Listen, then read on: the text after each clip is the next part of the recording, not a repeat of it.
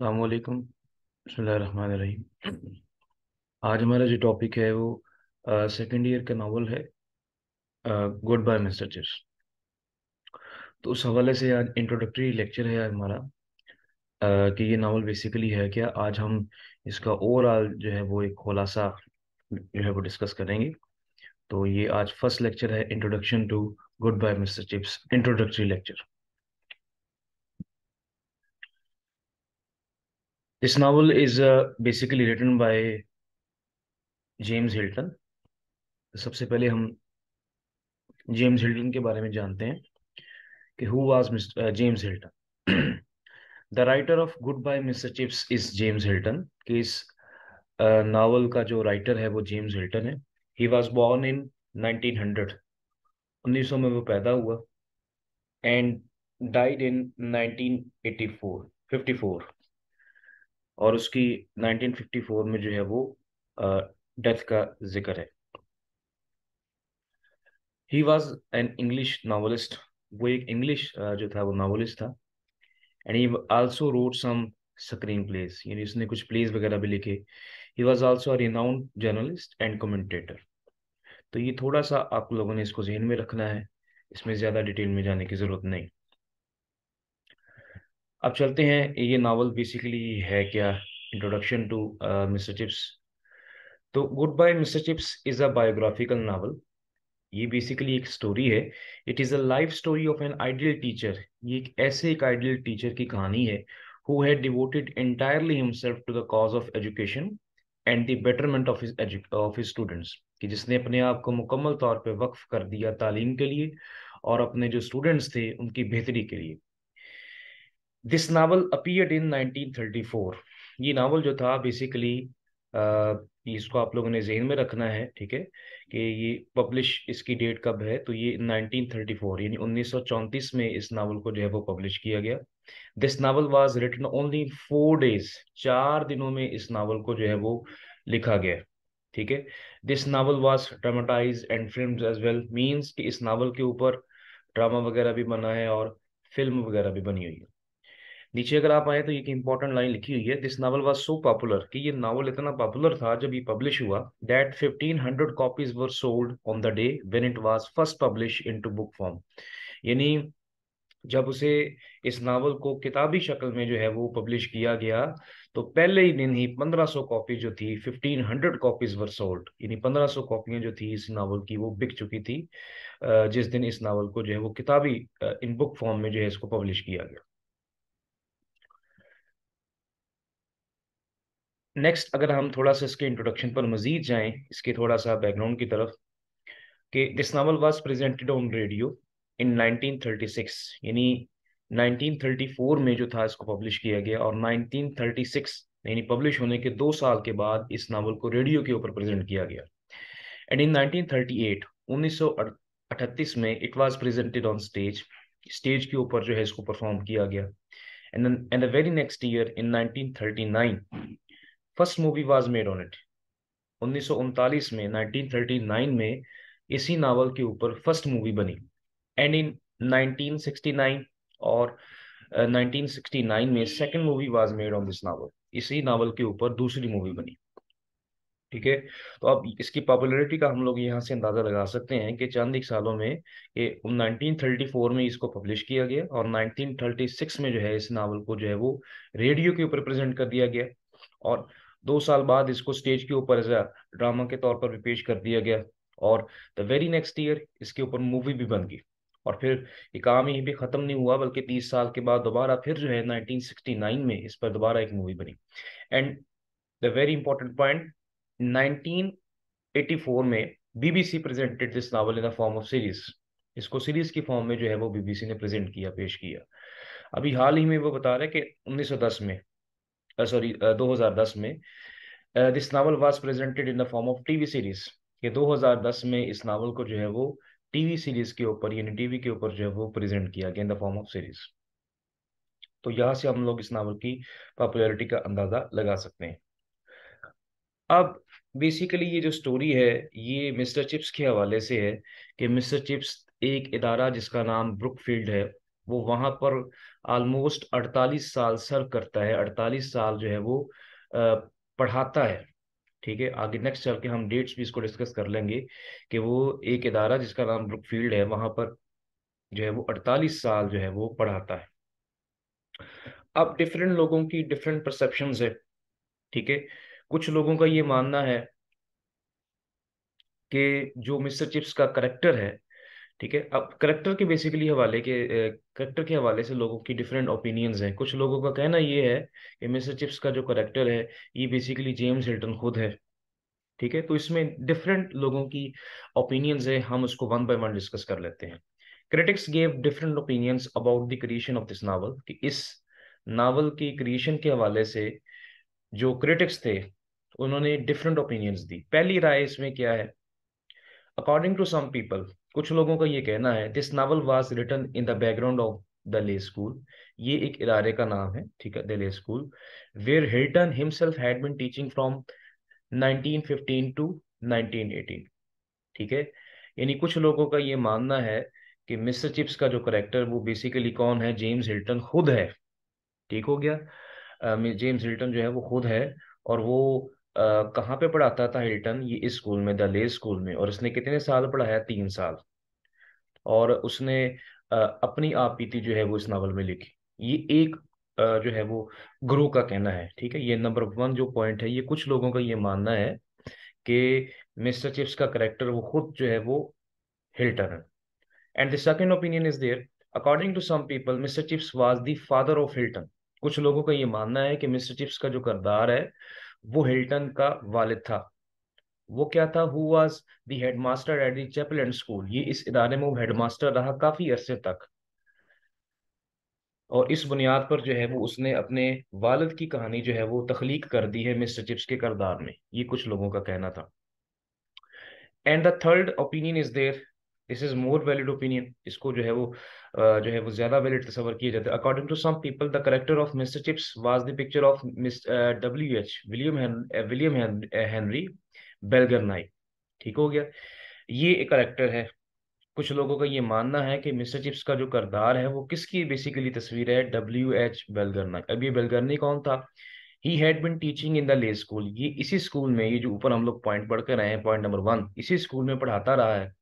From 1900 to 1930 यानी तीस साल जो है वो उसने इसी स्कूल में पढ़ाया।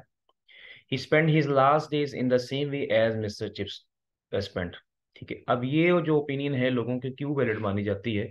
क्योंकि जो बेलगरनाई था, इसने तीस साल जो है वो दिले स्कूल में पढ़ाया है। और, चूँकि, और इसकी जो आखिरी अयाम थे, वो भी इसी तरह ही गुजरे, जैसे कि मिस्टर चिप्स ने अपनी आखिरी अयाम ब्रुकफील्ड जो इंस्टीट्यूट था, जहाँ पर उसने 48 साल पढ़ाया है, वहाँ पर गुजारे। ठीक है? मैं अगेन इस बात को रिपीट करता हूँ कि इस पॉइंट को इसलिए वैलिड तस्वर किया जाता है कि बेलगरनाई ने अपने आखिरी अयाम, अपनी ज़िंदगी के आखिरी लास्ट डेज़ इसी तरह से गुजारे, जिस तरह के मिस्टर चिप्स ने ब्रुकफील्ड में गुजारे। तो लिहाजा इस ओपिनियन को ज़्यादा वैलिड इसलिए भी तस्वर किया जाता है। और पहला जो पॉइंट डिस्कस किया कि चूँकि इसने तीस साल इसी इदारे में पढ़ाया तो लिहाजा मुमकिन है कि ये वही करेक्टर है जिसको जो है वो मिस्टर चिप्स की फॉर्म में प्रेजेंट कर दिया गया। और नंबर थर्ड पॉइंट इसमें ये था कि नावल को प्रेजेंट किया गया 1934 में। और ये देख लें कि 1930 में जो है वो बेलगरनाई ने यहाँ तक पढ़ाया। तो मुमकिन है कि चार साल के बाद हिल्टन ने जो है उसी के ऊपर जो है ये नावल लिख दिया हो। और हमने पढ़ कर आया है कि इस नावल को जो सिर्फ़ चार दिनों के अंदर जो है वो पब्लिश जो है वो लिखा गया। तो ये तीन डिफरेंट ओपिनियंस जो है वो तस्वर की जाती है।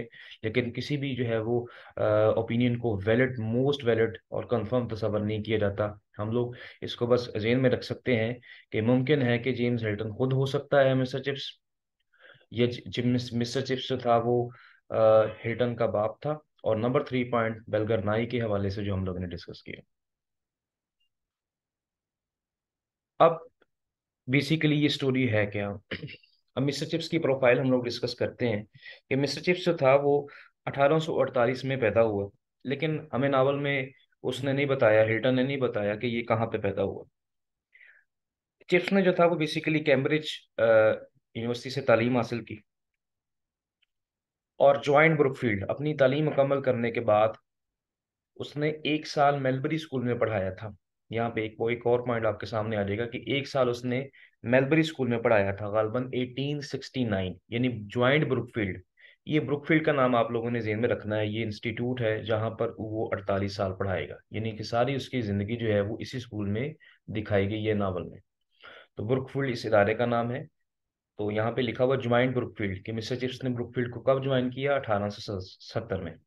और यहाँ पर आने से पहले उसने एक साल मेलबरी स्कूल में गुजारा 1869 में। वो वहाँ पे पढ़ाता रहा और 1870 में ये यहाँ पे आ गया ब्रुकफील्ड। अब यहाँ पर इंपॉर्टेंट पॉइंट्स पहले डिस्कस कर लेते हैं। एक्टिंग हेड फ़र्स्ट टाइम 1870 में ये ब्रुकफील्ड को ज्वाइन कर लिया इसने।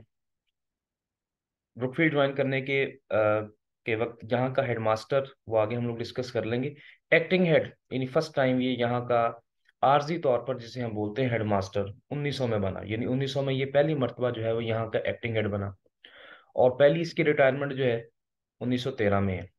पैंसठ साल की उम्र में 1913 में मिस्टर चिप्स बीमार हो गया था, जिस वजह से इसने रिटायरमेंट ले ली। लेकिन दोबारा फिर 1916 में 1916 में, याद रखना है ज्वाइनिंग इसकी कब है? 1870 की। और अब अब हम कौन सी ईयर की बात करें? 1916 1916 में यानी रिटायर होने के तीन साल के बाद वो दोबारा फिर ब्रुकफील्ड को ज्वाइन कर लेता है। उस वक्त के हेडमास्टर जिसका नाम चेटर्स है, उसकी दरखास्त के ऊपर मिस्टर चिप्स दोबारा जो था उस स्कूल को ज्वाइन कर लेता है। और उन्नीस में दोबारा फिर इसको एक्टिंग हेड बना दिया जाता है आरजी तौर पर। और फाइनली फिर ये अपनी रिटायरमेंट ले लेता है 1918 में, नवंबर 11 1918 नवंबर 11 1918 में ये अपनी रिटायरमेंट लास्ट ले लेता है। अब अब अब अगर हम लोग यहाँ पर ईयर्स टोटल काउंट करें 1870 से लेकर 1918 तक ऑलमोस्ट 48 ईयर्स बनते हैं, अड़तालीस साल जो है वो इसने यहाँ पे गुजारे। और इसकी डेथ का ज़िक्र क्या है? He died in 1933 at the age of 85 पचासी साल की उम्र में इसकी डेथ होती है 1933 में। तो आप लोगों ने इसका थोड़ा सा प्रोफ़ाइल ध्यान में रखना है कि ही वॉज़ बॉर्न इन 1848 1848 में जो है वो इसकी डेट ऑफ़ बर्थ है और इसकी डेथ कब है? 1933 में। 85 at the age of 85 he died के पचासी साल की उम्र में 85 जो एज में जो था इसकी डेथ होती है। तो अब अगर हम थोड़ा सा इसको आगे लेकर चलें मैरिड लाइफ के हवाले से डिस्कस करें, ठीक है? ये तो उसकी स्कूल की लाइफ हो गई, ये जो पीछे हम लोग स्लाइड डिस्कस की है, ये तो स्कूल की उसकी सारी लाइफ है कि स्कूल में उसने जो है किस तरह से गुजारा, कब ज्वाइन किया, ठीक है? अब एज अ हम लोग, अगर हम लोग टीचर के तौर पर यहाँ पे डिस्कस करें तो एज अ टीचर वो कोई अच्छा एक नहीं था, उसमें हमेशा डिसिप्लिन का प्रॉब्लम रहा, उससे उससे क्लास कंट्रोल नहीं होती थी, मजीद उसका लिबास जो था वो इतना अच्छा नहीं था। अब आप लोग गौर कर रहे होंगे कि यहाँ पर इतना लंबा अरसा पढ़ाने के बावजूद भी उसे परमानेंट हेडमास्टर नहीं बनाया गया। दो मरतबा से एक्टिंग हेड बनाया गया। यहाँ पर अगर आप लोग देखें एक्टिंग हेड मास्टर 1900 में बनाया गया और दूसरी मरतबा एक्टिंग हेड अगेन 1917 में से बनाया गया। दो मरतबा से एक्टिंग हेड बनाया गया, लेकिन उसे कभी भी परमानेंट हेड मास्टर नहीं बनाया गया। उसकी वजह ये थी कि उसमें डिसिप्लिन के प्रॉब्लम थे। क्लास में उसका प्रॉब्लम था कि क्लास उसे कंट्रोल नहीं होती थी। मजीद कि उसका लिबास का भी मसला था। और नंबर थर्ड पॉइंट कि उसकी जो पढ़ाने पढ़ाने का अंदाज था, उसकी प्रोनाउंसिएशन जो थी, वो भी गलत थी। ये वो चांदी के मसाइल थे जिस वजह से उसे कभी भी परमानेंट हेडमास्टर नहीं बनाया गया। गो के जब वो रिटायर होने वाला था तो उसे परमानेंट हेडमास्टर की ऑफ़र की जाती थी। लेकिन वो जो है वो उस के मतलब अब वो बीमार रहने लगा था, जिस वजह से उसने इनकार कर दिया कि मैंने परमानेंट हेडमास्टर नहीं बनना तो ये वजूहत थी। और 1869 में जब उसने मेलबरी स्कूल छोड़ा तो वो वहाँ पर भी इसके यही मसले मसाइल थे कि क्लास में उसका डिसिप्लिन का प्रॉब्लम था। तो एज अ टीचर अगर हम लोग कहें तो उसमें ड्रॉबैक्स थे कुछ। एक तो ड्रेसिंग का प्रॉब्लम और दूसरा प्रोनाउंसिएशन का और उसके बाद डिसिप्लिन का भी प्रॉब्लम मैरिड लाइफ के हवाले से डिस्कस करें, इसकी ज़ाती ज़िंदगी की बात करें तो हमें दो, एक और करेक्टर यहाँ पे मिलेगा कैथरीन जो कि उसकी वाइफ के तौर पर हमें दिखाया गया है। 1869 में ये एक जगह है जिसका नाम है द लेक डिस्ट्रिक्ट ये इस जगह पे जाता है और वहाँ पे उसकी मुलाकात कैथरीन से होती है। 1869 सिक्स में। और इसी साल जो है वो इनकी शादी हो जाती है। लेकिन दो साल के बाद, दो साल के बाद कैथरीन की in a child birth case बच्चे को पैदाइश देते हुए देते हुए उसकी जो है वो वफात हो जाती है एटीन सिक्स नाइन्टी एट में। यानी एटीन नाइन्टी सिक्स में इनकी शादी होती है और एटीन नाइन्टी एट यानी दो साल के बाद कैथरीन की डेथ हो जाती है in a child birth case और ये आप लोगों ने जेहन में रखना है कि जब उसकी इनकी शादी हुई थी तो मिस्टर चिप्स की उम्र क्या थी? Forty eight. He was about forty eight और कैथरीन की पच्चीस साल उम्र थी। नजरियाती तौर पर दोनों में बड़ा इख्तलाफ था। जो कैथरीन थी वो बड़ी आज़ाद ख्याल थी और मिस्टर चिप्स जो था वो बड़ा तंग नजरी के तौर पर हमें दिखाया गया है। वो ब्रॉड माइंडेड नहीं था और ये डिफरेंस ऑफ़ ओपिनियन में जारी रहती है, ठीक है? लेकिन दो साल के बाद जब कैथरीन की डेथ होती है तो फिर जो है वो मिस्टर चिप्स अपने पुराने ख्याल पे वापस आ जाते हैं। सर्व्ड अंडर फोर हेड्स हमें नावल में दिखाया गया चार हेडमास्टर्स का ज़िक्र आएगा इस नावल में। यानी 1870 में जब मिस्टर चिप्स ने ब्रुकफील्ड को ज्वाइन किया और 1918 में इसकी डेथ होती ये लेफ़्ट कर देता है ब्रुकफील्ड इंस्टीट्यूट को तो इस दौरान चार हेडमास्टर्स आते हैं। वेदर बाय बाय जो था, ये पहला हेडमास्टर था।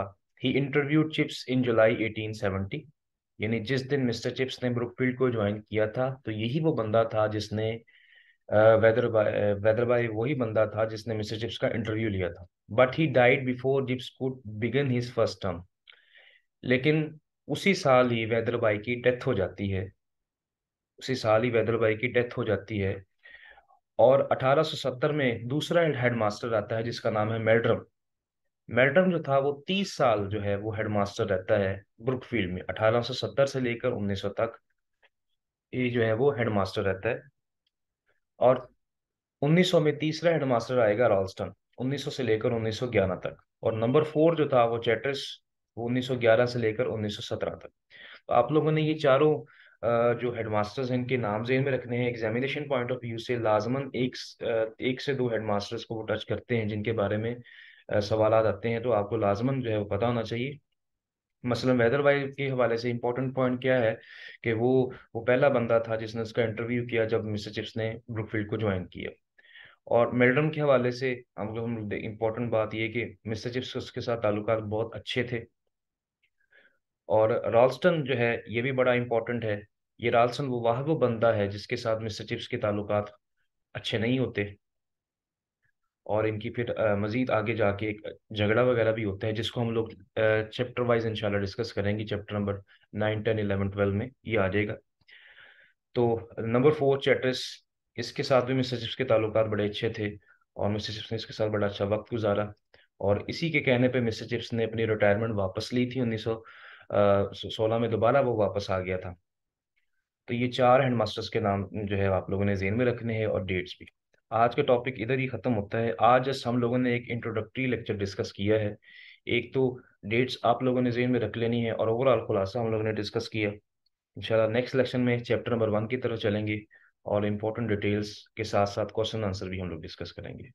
उम्मीद है कि आप लोगों को आज जो इंट्रोडक्टरी लेक्चर है, इसमें कुछ की पॉइंट्स आपको समझ में आ जाएँगे। थैंक यू जी अल्लाह हाफिज़